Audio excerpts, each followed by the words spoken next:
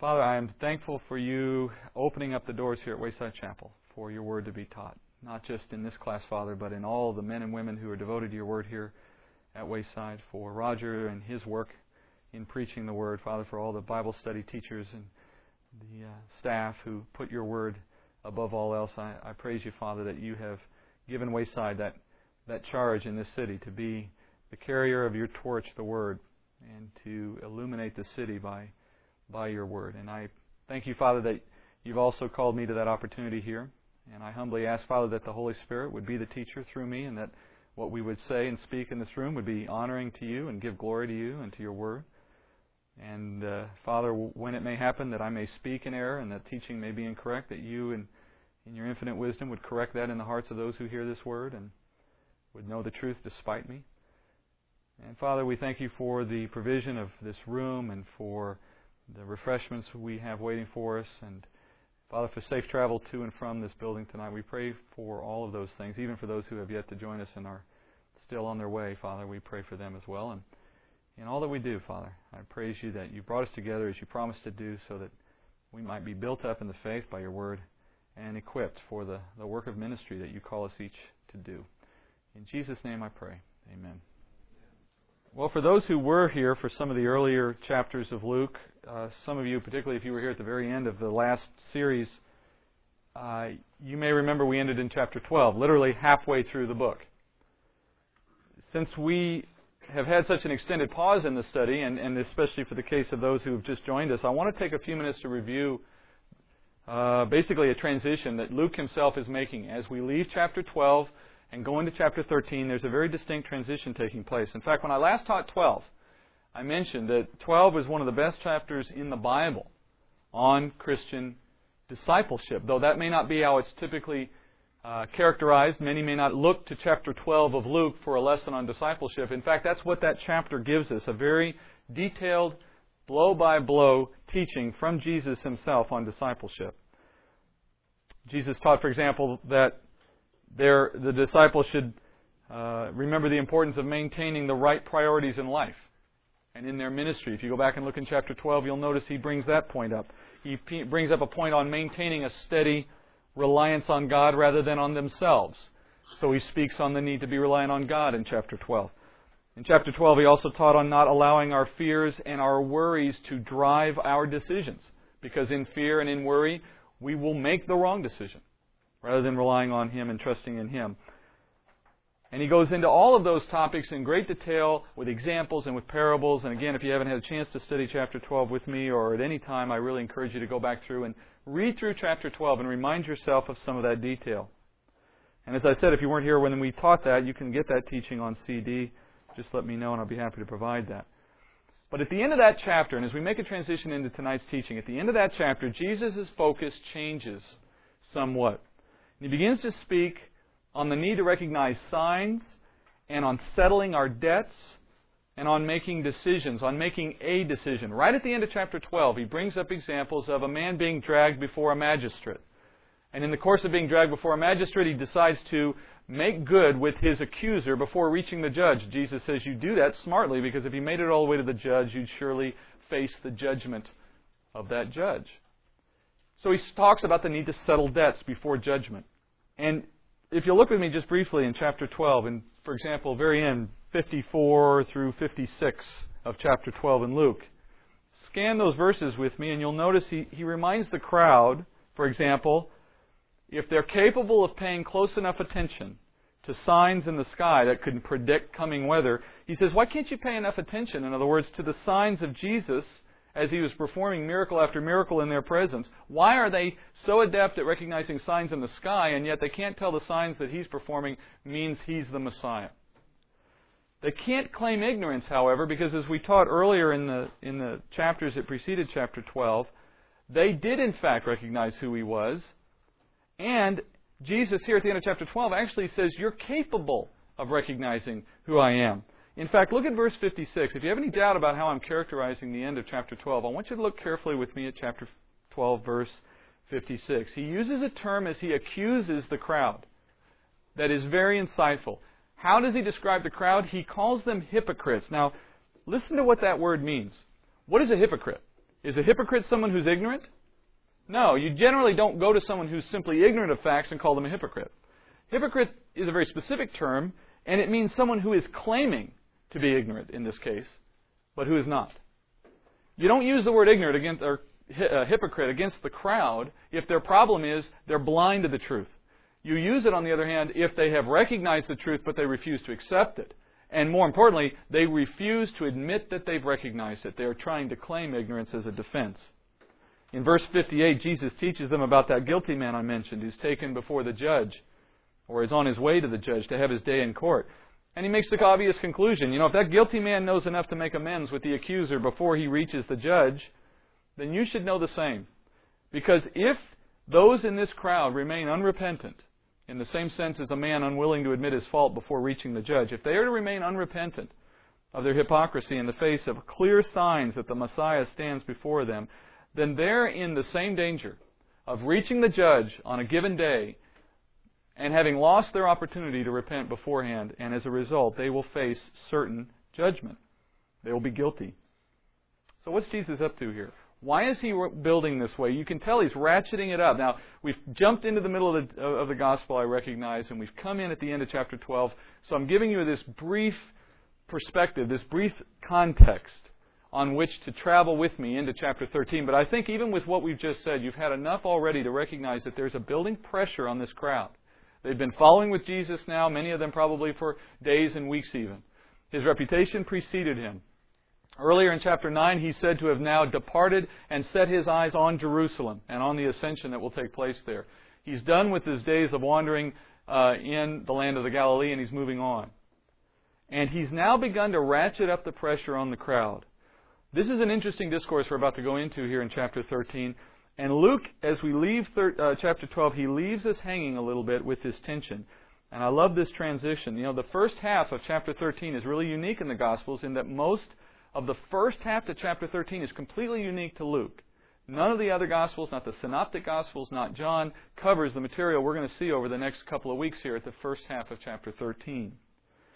And I find it interesting for one reason more than any other.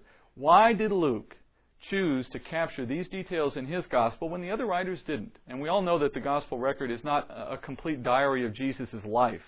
It picks, each of the Gospels pick and choose events and display them according to the purpose of the writer. So that begs the question why did Luke choose to incorporate these details at the beginning of chapter 13 when the other writers did not? It gives us insight not only into the message he's trying to communicate, but into his purpose for writing. Let's go now with that introduction into chapter 13. We'll read the first five verses. Luke 13, verse 1. Now, on the same occasion, there were some present who reported to him about the Galileans whose blood Pilate had mixed with their sacrifices. And Jesus said to them, do you suppose that these Galileans were greater sinners than all other Galileans because they suffered this fate? I tell you, no. But unless you repent, you will all likewise perish. Or, or do you suppose that those 18 on whom the tower in Siloam fell and killed were worse culprits than all the men who lived in Jerusalem? I tell you, no. But unless you repent, you will all likewise perish in looking at these verses, Luke begins chapter 13 with the words, on the same occasion. As Luke moves then out of chapter 12 and into chapter 13, he's saying that this report, the one we're about to discuss and study, occurred in the midst of the conversations that we just came out of in chapter 12. So here again, Luke chooses to record an event that the other gospel writers, for whatever reason, overlooked. And he puts it in this moment which then adds a context for why he gave it.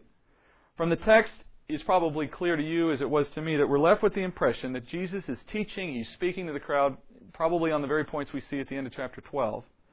And then some in this crowd, some group within the crowd, had traveled down from Jerusalem to this place, wherever they were at the time, probably somewhere still in, in the region of Samaria. And as they arrive, they're probably sharing their experiences in Jerusalem with those in the crowd. Not necessarily with Jesus specifically, though it says the report came to him, and I'm not saying he didn't get it directly from them himself, but I don't think that their purpose in arrival was like, uh, you know, the days of the Pony Express. They've ridden into town, they jump off, and they run up to Jesus and they give him the report. I, I don't get the impression that they would have thought this was quite that noteworthy, nor would it have been their responsibility to do it. More likely the case, they were speaking in the crowd, sharing some juicy bit of gossip or of news that they had heard. Remember, in the days before the internet, and in the days before even newspapers, this is the way news gets around. As they report to the crowd what they've heard and seen perhaps in Jerusalem, it catches, obviously, Jesus' is attention. And he chooses to respond as he overhears this report. And look at his response.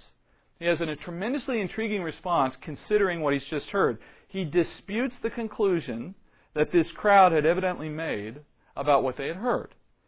But we don't necessarily know that the crowd had spoken this conclusion whatsoever. It's almost as though he jumps over the discussion of the topic and begins to bring up a new issue that's obviously derived from the topic. They're talking about the event. He jumps to the conclusion they are making in their minds about the news, showing his divinity even in that small moment, his ability to discern their thoughts. But to fully appreciate why Jesus said what he did, we're going to first going to have to go back and understand why the crowds in their own minds had come to the conclusion that he's implying they did come to. We have to go to that first. Why is it that they brought that thought into their mind as a result of hearing this news? So we've got to review a few things. Let's begin by reviewing who the Galileans are. Uh, to put it simply, Galileans are residents of the Galilee. That's not a big stretch, I'm sure. Galilee is that land in northern Israel surrounding the Sea of Galilee. This, that's where it gets its name, obviously. It was the northernmost district of Israel as uh, constituted under Roman authority. It included territories of Zebulun and Naphtali uh, out of the tribes of Israel. So if you have a map that shows you where the tribes settled, Galilee roughly corresponds to those two tribes. We all know, if you've studied the Gospels already, that Jesus uh, grew up in the Galilee, as did most of the disciples, by the way. That's also where he chose to appear to them after his resurrection, was in the Galilee. As the story goes, as far as we can tell from Scripture here, Pilate mixes the blood of these people, of these Galileans, with the blood of their sacrifices. Now, this is a curious event for several reasons. First, uh, we don't have any other mention of this event in Scripture or in extra biblical texts. Even in non biblical historical texts, there's no mention of an event like this of any kind, whether Galileans or otherwise. So it's a it's an oddity because we don't have any cross reference that we know of that would help us understand this moment. We really only have the text as Luke presents it here. So from the text, we have to surmise a few things. Uh, we can probably surmise that these Galileans had traveled to Jerusalem for the purpose of offering sacrifices. I think that's a fair expectation. But that alone is interesting because the only time a non priest could offer a sacrifice in the temple on their own behalf is at Passover. So it suggests that the event at which they would have been participating is the Passover event of a family bringing a spotless lamb before the altar and sacrificing it in the temple. Now, apparently, if we understand what Luke is teaching here, they were at the point of performing that sacrifice to the point of bloodletting, so that the animal's blood had been spilled where it was appropriate. But in the midst of that event, somehow they were slain themselves, and their blood was mixed with the blood of those sacrifices. That's probably the fairest interpretation. Now, to, to, to, be accurate or to be fair, there are others who have taken this language and gone elsewhere in trying to make sense of what Luke is saying. But, but the, the more accepted, more commonly accepted view is the one I'm teaching here of, of simply an event that occurred coincident with their own sacrificing in the temple. But of course, why are we thinking, what does it mean that they were killed? What is the significance of Galileans being killed in the temple while sacrificing? Um, why, another way to put it is, why is the crowd so interested in this event? And before you say, well, of course, any death, any murder, something of that nature would catch someone's attention, well, you have to take yourself back a little bit in time and in history and understand the circumstances of the day in a Roman controlled area, a Roman controlled colony, if you will, like Israel. Pilate and the other Roman authorities, for that matter, were well known as men who persecuted the Jews, who held life with low regard, particularly Jewish life. They often solidified their control and their authority by their willingness to take uh, this, this kind of action against anyone who crossed them. It was the way they maintained control. And a death at the hand of Pilate, in and of itself, was not newsworthy. And keeping in mind that the fact that we find it in the record of the gospel suggests it had newsworthiness to the crowd and to Jesus himself, and of course it became a teaching moment. In this case, the news might have been more interesting simply because of where they were killed. Because of the fact that sacrificing at the temple during Passover was the single most important religious event in the life of an individual Jew, In their annual year of festivals and in their annual year of obligations under the law, the thing that mattered most to any given individual Jew was the Passover celebration, being in Jerusalem and celebrating the Passover. So it, it was a time when a Jew could personally go and make amends before God for sin. There were times when you saw you know, national atonement for sin. And there are times when you saw individual atonement on a lesser de- level, on lesser degrees, uh, in, in, other ways. But to have this one event a year where you were going in and you were atoning and you were recognizing God's deliverance of the nation of Israel was a singular event in the life of a Jew. So failing to observe the Passover, in fact, carried a strict penalty under the law in Numbers 9:13 just to give you some context. Numbers 9:13 says, "A man who is clean and is not on a journey and yet neglects to observe the Passover, that person shall be cut off from his people, for he did not present the offering of the Lord at its appointed time, that man will bear his sin." Which is to say that man will not be atoned for his sin. It's a very strict punishment applied under the law for those who would voluntarily not observe the Passover. So perhaps we can surmise that the Galileans were struck down in the midst of a Passover sacrifice, and to the average Jew, that fact alone, the fact that they were struck down in that critical moment, a moment when they were trying to atone for sin, it's almost as if God rejected their atonement. It's almost as if God was judging them in that way by the nature of their penalty and the way that He struck them down the Jew could interpret that to be a sign of God's displeasure with those people, that he would choose to take them out, if you will, in that way and in that moment. Because uh, to a Jew, God is clearly sovereign. He can do it any day he wants, to anyone he wants, any way he wants. So, by virtue of the way he did it and the timing, it seems to be communicating God's displeasure with those people. And so, to the crowd, this event implied those men, whoever they were, were particularly sinful men.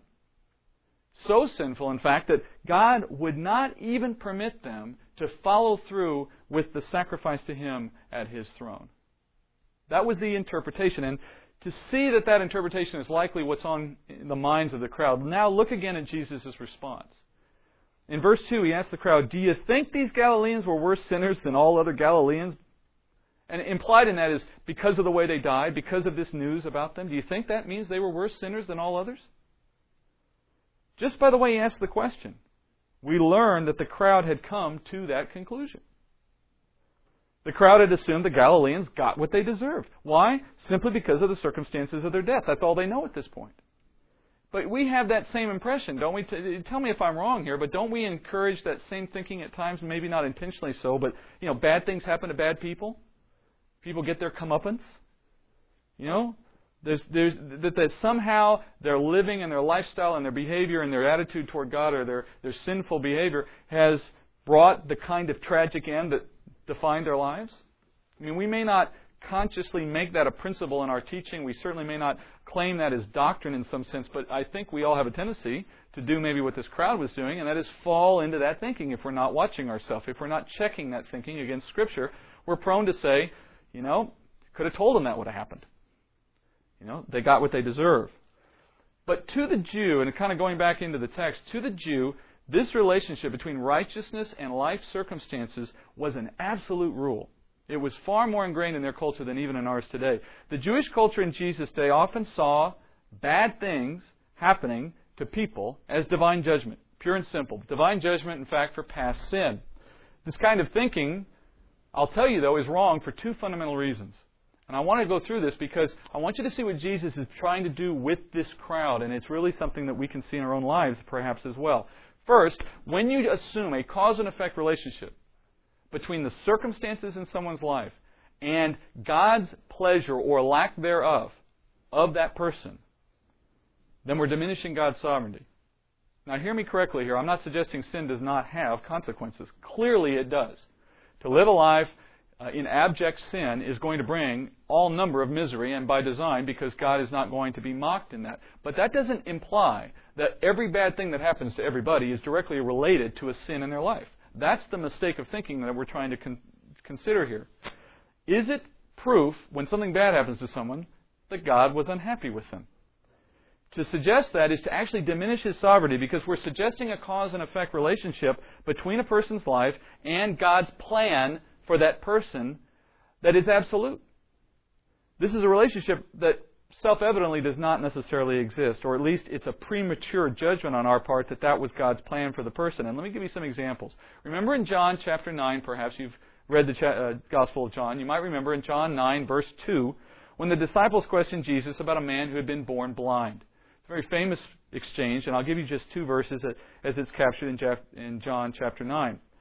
As his disciples asked him, Rabbi, who sinned, this man or his parents, that he would be born blind? Jesus answered, It was neither that this man sinned, nor his parents, but it was so that the works of God might be displayed in him. Now, if you've read that before, let me ask you to think about it one more time, but now in the context of what we're teaching today. Look at what the disciples assumed. This shows you, by the way, how ingrained this thinking was in the nation of Israel and in the Jewish culture. They had a guy born blind, right, born that way. So they couldn't go immediately to the assumption that it was his own behavior that created this circumstance. But they're so unwilling to break that assumption. They're so unwilling to give up that, that thinking that they're going back in history to his parents in order to find the connection. That's how strong the relationship existed in the Jewish mind.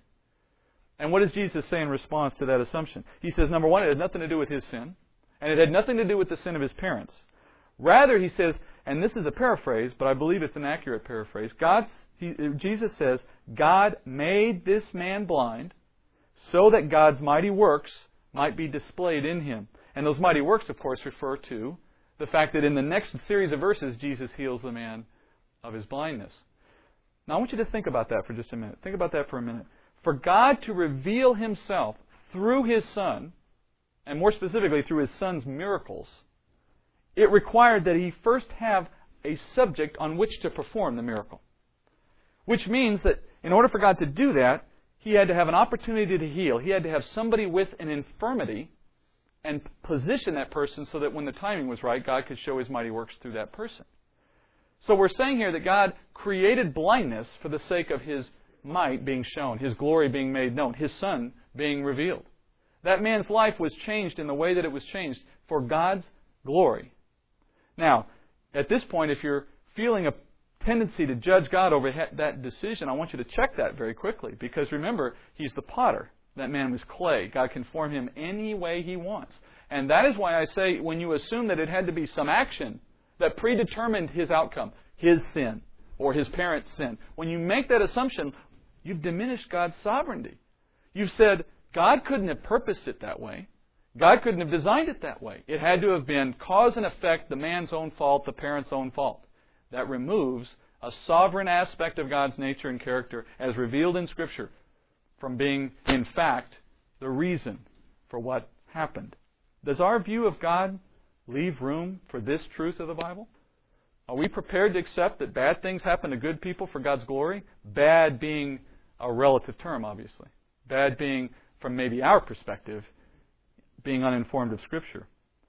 And what about Job? Maybe the classic example, and I won't go this much farther, but I want you to consider something about Job that I saw as I studied for this that really knocked me down. Really, it was dramatic in my mind, perhaps in yours as well. I'll recap Job for you in a nutshell. In one moment, Job hears that all his children are died. Now, I want you to try to personalize this if you can. Imagine yourself in Job's position for just a moment. All his children died in a single moment. All the herds, which represented his wealth for the most part, all his herds had been taken away by thieves. And all but three of his servants had been killed in the process. So he's left with literally nothing. Later in the story, he suffers horrible physical ailments as a continuation of his um, misfortune, if you will. All again by God's providence, if you know the uh, story. But here's the point that knocked me down. I want you to consider this in light of today's teaching. Did those things happen to Job because he had some serious sin in his life? Now, we know for the most part that answer, right? If you study Job, you know that Job is not credited with that sin as being the cause, not none whatsoever, in fact. It's funny that even his friends later try to convince him that that may in fact be the cause of his calamity. See the thinking there again in the Jewish culture. His friends return to that cause and effect explanation to try to soothe him, if that's possible, of his circumstances. But what does Scripture tell us? Look with me, and you may not have time to turn and you don't need to, but in Job chapter 1, verse 8, write this down, maybe look at it later. Job 1, verse 8. Look at how Job enters into the conversation between God and Satan. Job 1 8. The Lord said to Satan, Have you considered my servant Job? For there is no one like him on earth, a blameless man and upright, fearing God and turning away from evil. Do you realize that when those bad things happened to Job, they came at the hands of the enemy, yes. Satan was the instrument that actually brought those things to bear in his life. But do you realize that Job himself came into the conversation because God introduced him into the conversation? God suggested him to Satan. So what we're saying here is that God gave the devil the target. He in fact invited it, did he not? Have you considered my servant Job?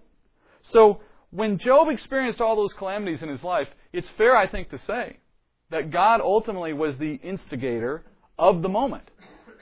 Satan being the, the owner and the originator of sin, Satan being the one who created those negative things, Satan being the one through whom the evil occurred, but God Himself being the master, the sovereign king who determined it would be Job who would suffer those things.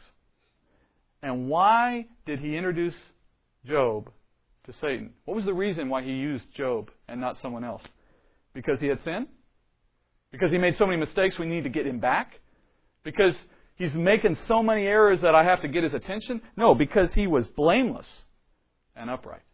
In other words, his blamelessness was the reason for his calamity.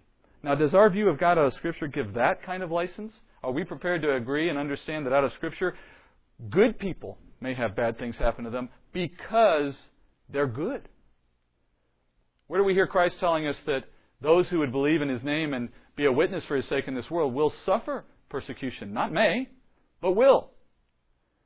Are we prepared to understand that not in every case when something bad happens to us are we looking at something that is the product of our sin? No, it may very well be the case that God is using our misfortune, if you think of it in those terms, our calamity, if you want to call it that, to His glory, for His name's sake. And the way that glory is ultimately obtained, of course, is in our response to those circumstances.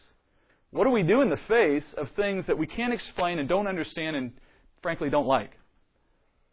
Maybe we can find a direct relationship to a sin in our life, and if so, then that's where we ought to be putting our attention. But if we can't immediately, perhaps we need to at least give time for God to work in our heart to explain it. And if no explanation comes, are we prepared to give Him glory over the fact that He saw fit to bring something like that upon us, maybe for righteousness' sake? Proverbs 16:9 says, "The man, the mind of man plans his way, but the Lord directs his steps." And Proverbs 20:24 sort of follows that up. Man's steps are ordained by the Lord. Then how can a man understand his way? Which is just further proof of God's control. So the first mistake we make when we begin to assume a cause and effect relationship on the basis of sin is that we reduce God's sovereignty. But the second one, and I won't take near as long on this, the second one is that that thinking makes us a judge of another person. And now we fall into the trap of judging. When we decide that someone's poor circumstances are due to their sin, we become the person Jesus was talking about when he said, Take the log out of your own eye before you take the splinter out of someone else's eye. Think about that for a minute. The flip side of that really is that we've assumed that our own relative lack of misfortune must be because God is pleased with us. That's really what's at stake here. When we're ready to tell someone else that their sin is responsible for their problems in their life, what we've also done in that same moment is we've said, and because I don't have your problem, it's self evident I don't have your sin. We may not say it, we may not even really think it, but it's built into that thinking. It's underlying that thinking. It's a comparison that we make all the time, even if we aren't aware of it. Judging others in the negative sense of the word, and there is a positive sense, but in the negative sense of judgment, as Christ forbids it, it always brings with it an attitude of superiority, of unjustified superiority. Like the parable suggests, I have to overlook my own mistakes, that giant log sticking out of my face. I have to be willing to overlook it so that I can get to that splinter in your own eye. It's a sense of misplaced superiority. The best way to avoid falling into this trap, by the way, is to remember we all have sin.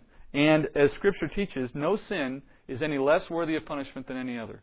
Sin is sin is sin. If you want some current day examples to just think about on your own later, ask yourself why missionaries die in Africa. Ask yourself why martyrs died in the early church. In other words, begin to break down any assumption you may have made in your life about why bad things happen and why good things happen and recognize that there is not an automatic cause and effect relationship between what happens in a person's life and God's pleasure or lack thereof in that person's walk. So, what about Jesus' comments to the crowd in chapter 13? He says in verse 3, No, I tell you no. In other words, he contradicts that thinking, meaning that those men who died were not worse than the general average run of the mill Galilean. And more importantly, and look at how he ends it as he turns to the end of that statement, they're not worse than you. And that's where the issue really lies. They weren't worse than the average Galilean, and by the way, they aren't any worse than you also. Or said another way, you're just as sinful as those men who died in the temple. And unless you repent, he says, you will likewise perish. Now, did he mean they're going to likewise die at the hands of Pilate while sacrificing at the Passover in the temple? No. Clearly, his point is not to be so concrete and specific. What he did mean was that just like those men and women who met a tragic end at the end of their life and died in sin, this crowd is likewise going to expect a tragic outcome at the end of their lives if they don't first repent and receive their Messiah. It's a call to understand and believe in who he is.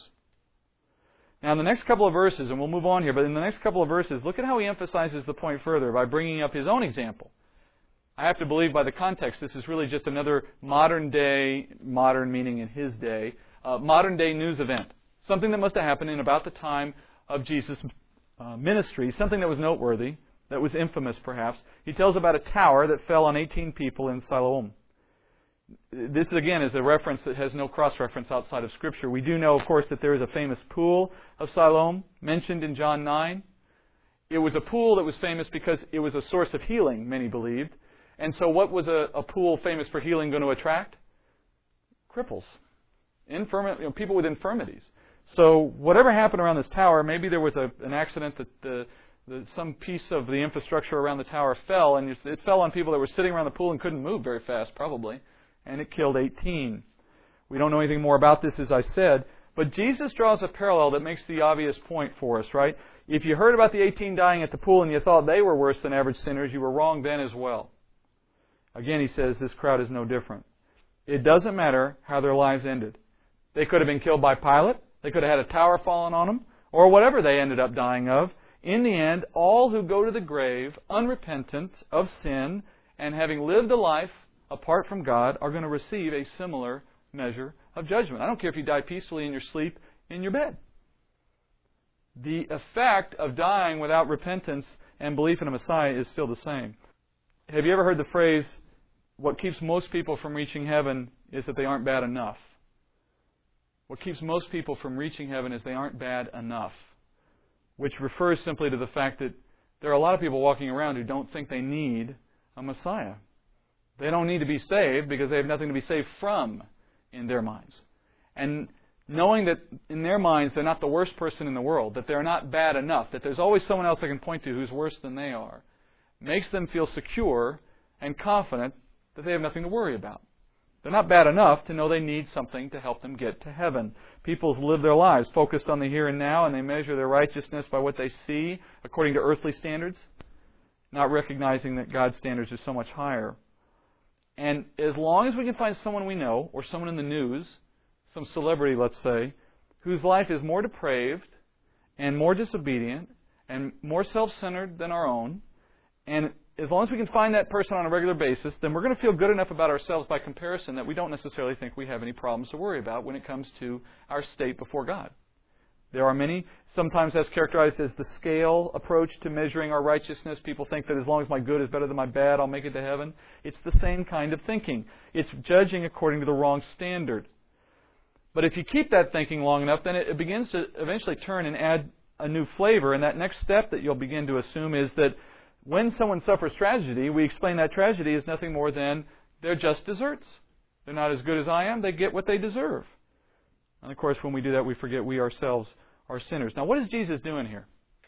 Why is he bringing this up? Why throw this in in the midst of this casual discussion in the crowd about these people in, in Jerusalem that suffered this death?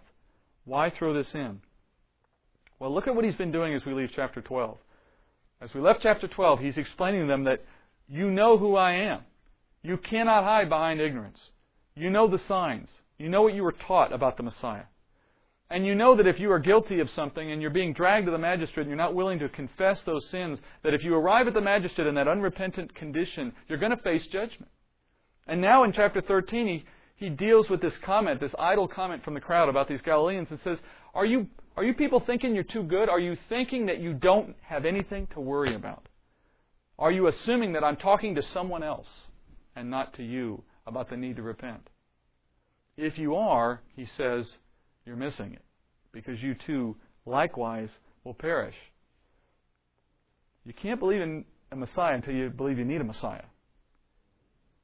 Or said another way, you and I today, you won't ask to be saved until you believe you have something to be saved from. The first step for a man or woman to come to faith in the gospel is to recognize they have sin and a need for forgiveness, and repenting of sin is the prerequisite to understanding the truth of the gospel. And that's what he's commanding them to do.